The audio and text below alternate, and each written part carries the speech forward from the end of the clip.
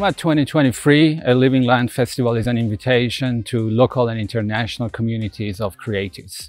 We started this journey in 2022 with the Nomadic Image Conference, along with a lot of creative workshops and activities. One of the major components of 2022 festival was the film festival. So the film festival was dedicated to regional filmmakers in 2022.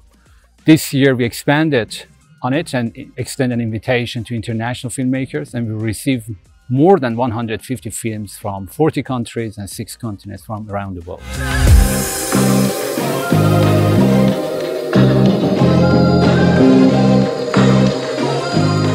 албетте күтүүсүз болду анткени биздин улуттук конкурста аябай жакшы мыкты фильмдер бар болчу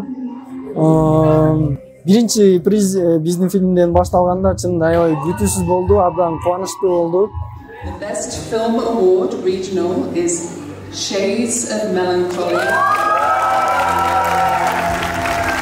албетте бул мындай иш чаралар жаштар үчүн биринчи кезекте жаштар үчүн абдан маанилүү айрыкча студенттер үчүн жаш жаратмандар үчүн анткени баягы дүйнөнүн ар кайсы жерлеринен келген кино жаратмандары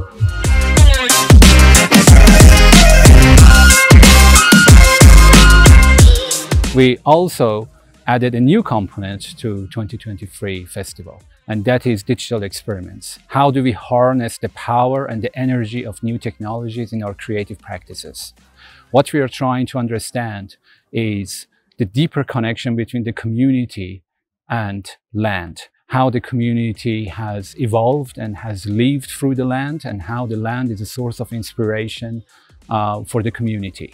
So we are trying to bring uh, international and local and regional artists, activists, scholars, academics and students and creating a space, a very safe and encouraging space that can foster new dialogues across these lines.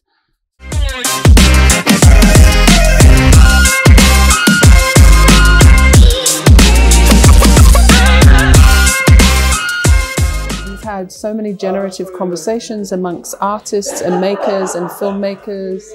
Um, so I feel that people are going to go from here feeling invigorated to tell stories and to find new ways to tell stories. And that's my biggest hope because um, really the young people in this in this environment are the future of how we express ideas. And so I think this festival is a great way to get people together and really inspire each other to even me, I'm an old filmmaker, but it's great to be around that and find new ways of looking at things. So